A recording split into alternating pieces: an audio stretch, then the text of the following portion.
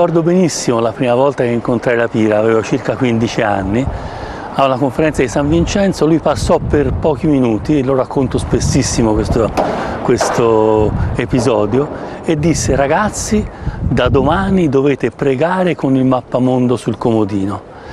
Cioè questa, questo messaggio della globalizzazione della preghiera. Negli anni in cui ero all'università cominciai a essere vicino al gruppo che lo accompagnava per gli aspetti internazionali, i, i colloqui mediterranei in particolare.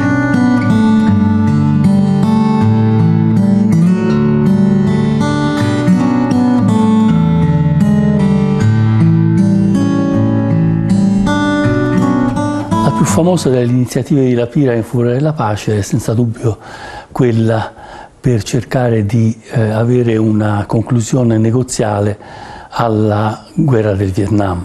E in effetti eh, la Pira ebbe successo perché in un lungo colloquio con Ho Chi Minh, un colloquio a cui ebbi l'onore di partecipare anche io, ottenne la promessa che il Vietnam sarebbe stato disponibile a iniziare immediatamente le trattative anche senza richiedere il ritiro preliminare delle truppe americane.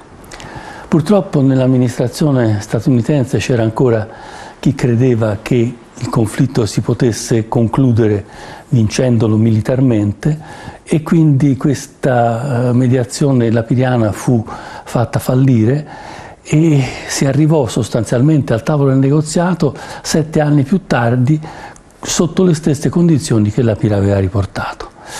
E qui mi torna in mente una frase che la Pira diceva spesso, qualcuno mi chiama utopista perché dico che la pace non può che essere il, lo stato naturale dell'umanità oggi. E invece io sono realista. Gli utopisti, drammaticamente utopisti, sono tutti coloro che pensano di risolvere con la guerra, uno strumento ormai superato, dei problemi che sono totalmente inediti per il nostro momento storico.